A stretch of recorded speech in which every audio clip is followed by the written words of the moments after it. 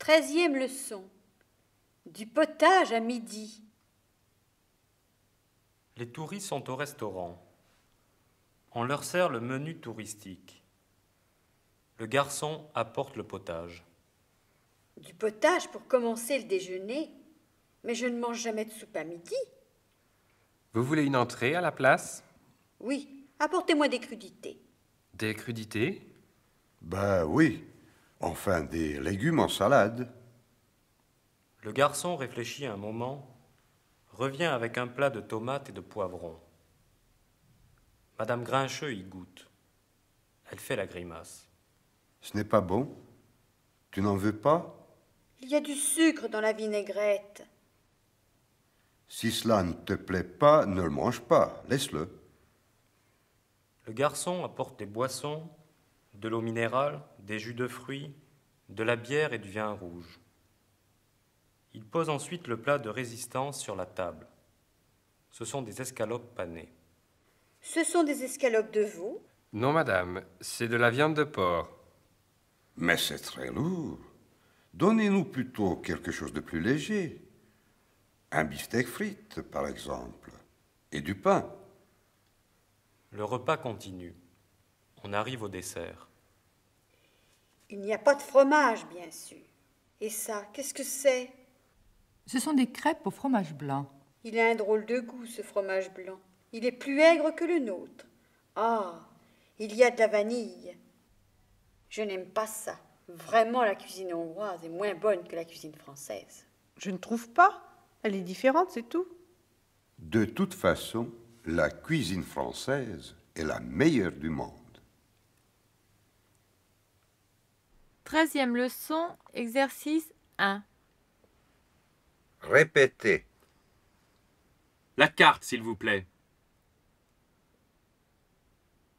Le menu, s'il vous plaît.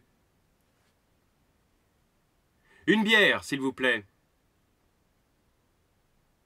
Du pain, s'il vous plaît. Deux cafés, s'il vous plaît. L'addition, s'il vous plaît. Je ne mange jamais de soupe à midi. Tu ne bois pas de bière le matin.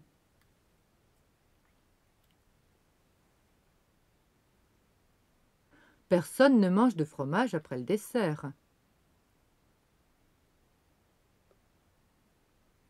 Nous ne prenons pas de café le soir. Vous ne buvez jamais de vin quand vous conduisez? Personne ne met de sucre dans la bière.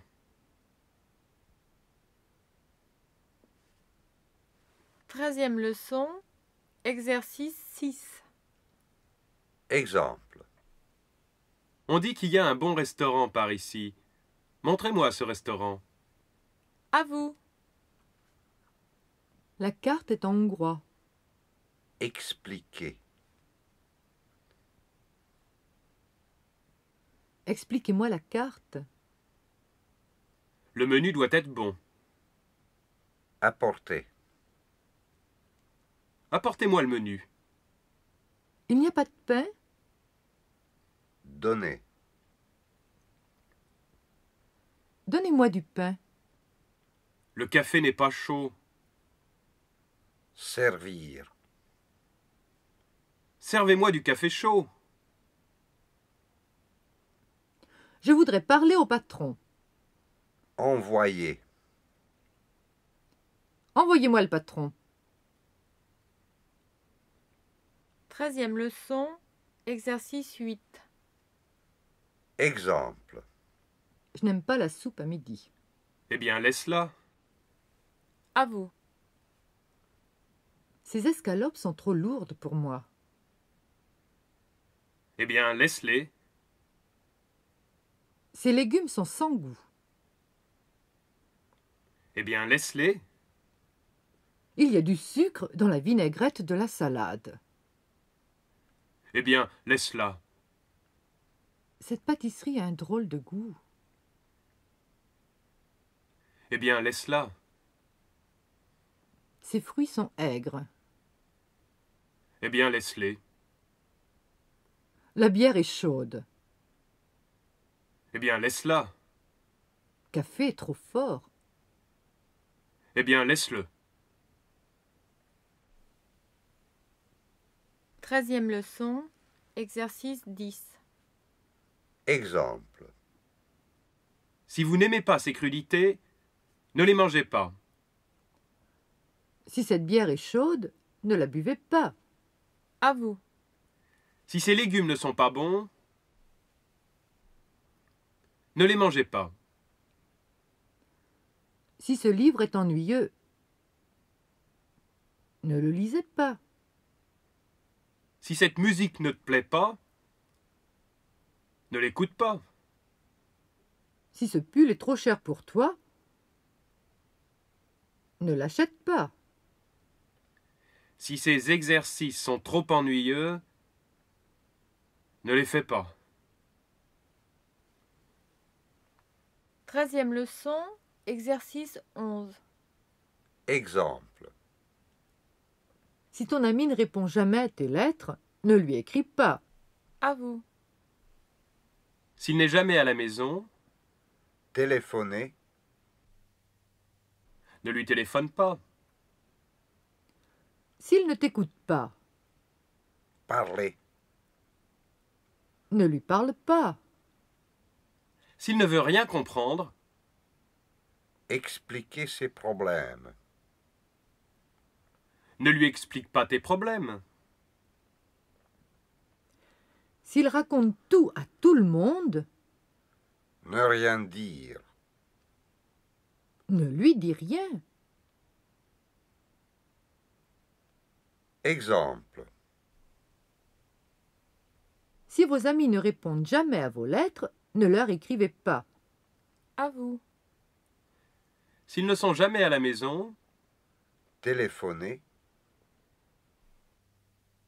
ne leur téléphonez pas. S'ils ne vous écoutent pas, Parler.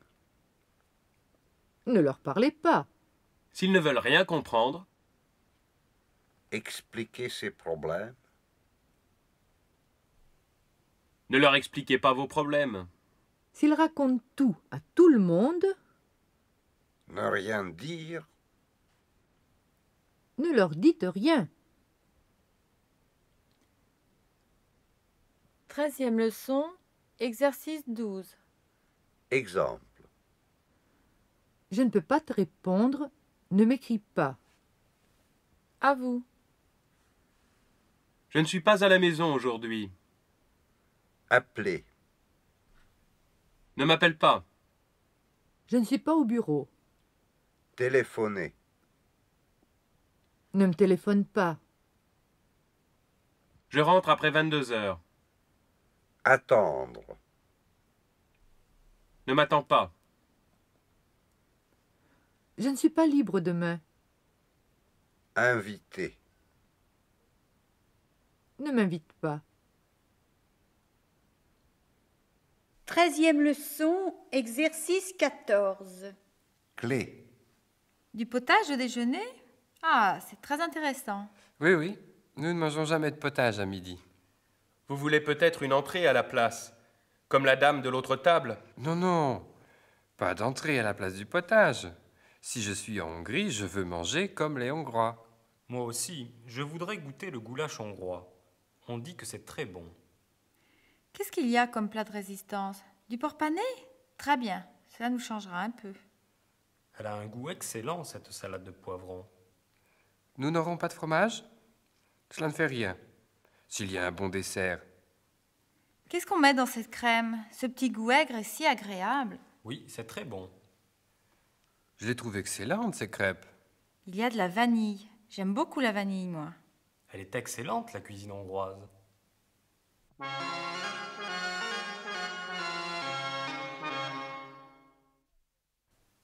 Treizième leçon. Tiens, il pleut. Le groupe doit partir pique-niquer au bord du Danube.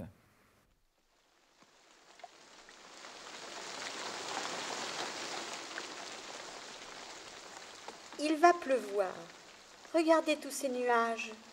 Vous croyez? Je vais prendre mon parapluie alors. C'est vrai qu'il fait moins beau qu'hier. Mais il fait tout de même assez chaud. Oui, mais il y a du vent. Et au bord de l'eau, il va faire moins chaud qu'en ville. Oh, ça ne fait rien.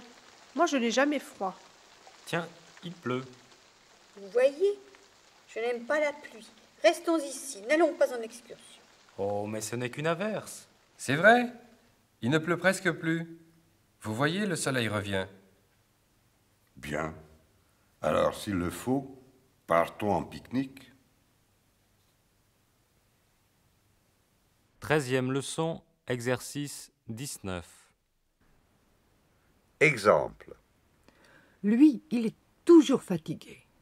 Elle, elle n'est jamais fatiguée. À vous. Il a toujours mal à la tête. Elle n'a jamais mal à la tête. Il sourit toujours. Elle ne sourit jamais? Il prend toujours des médicaments. Elle ne prend jamais de médicaments. Il est toujours malade. Elle n'est jamais malade. Sa Mercedes est toujours en panne. Sa trabante. Sa trabante n'est jamais en panne.